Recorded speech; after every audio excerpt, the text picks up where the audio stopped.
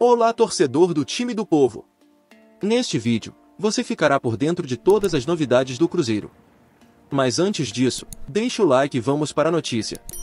Atlético Mineiro e Cruzeiro negociam uma partida amistoso para acontecer na pré-temporada dos clubes em janeiro de 2025, nos Estados Unidos.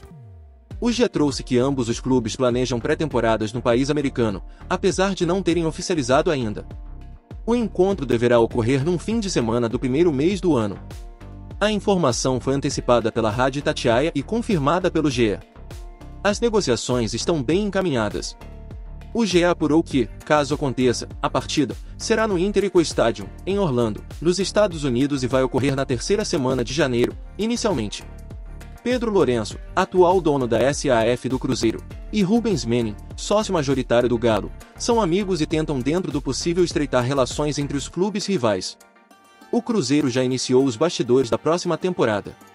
A diretoria celeste tem um alvo de peso na mira, Renier, jovem talento que atualmente defende as cores de um clube da segunda divisão espanhola, mas que pertence ao Real Madrid. A notícia, que já agita os bastidores do futebol brasileiro, ganhou força nos últimos dias.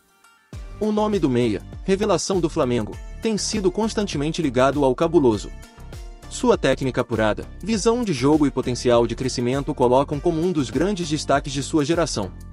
A possibilidade de ver Reinier vestindo a camisa cruzeirense na próxima temporada entusiasma a torcida azul celeste. Sua chegada à Toca da Raposa seria um grande reforço para o elenco comandado por Fernando Diniz, trazendo ainda mais qualidade e experiência ao meio-campo. As conversas entre o Cruzeiro e o staff do jogador ainda não foram iniciadas oficialmente, mas as informações indicam que os contatos devem acontecer nas próximas semanas. A diretoria do Clube Mineiro trabalha nos bastidores para viabilizar a operação. A contratação de Reinier não será uma tarefa fácil. O alto valor de mercado do jogador, somado ao interesse de outros clubes, torna a negociação complexa.